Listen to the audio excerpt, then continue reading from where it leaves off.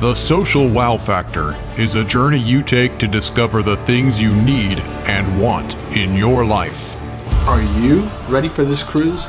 Because this cruise is all about experiences, energy, and all the relationships you're gonna make.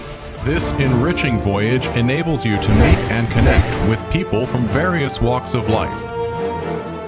You will learn from speakers who share their experience and knowledge.